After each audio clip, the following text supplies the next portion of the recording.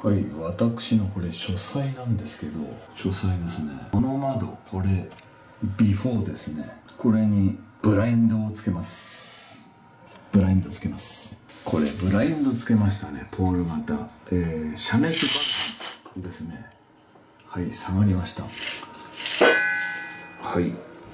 つきましたね。でこれどこで買ったかっていうとネットでもなくあのですねニトリですね。ニトリさんで買いました。太陽光は遮れますねこれでただ断熱に関しては除染ブラインドですからね。はい。夏場は活躍します。今もう寒いんであんまり活躍しないんだけどいいと思いますね。はい。ありがとうございました